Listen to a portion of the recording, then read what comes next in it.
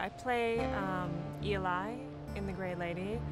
And um, for me, of course, my perspective is that I've had a great loss and I, um, I've chosen to choose the path of destruction and not creating value out of what happened to me.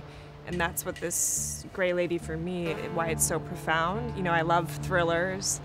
Um, I love action, but I think the other layer of Grey Lady that's so beautiful, other than the setting, is that um, it's really a profound story of loss and ultimate redemption.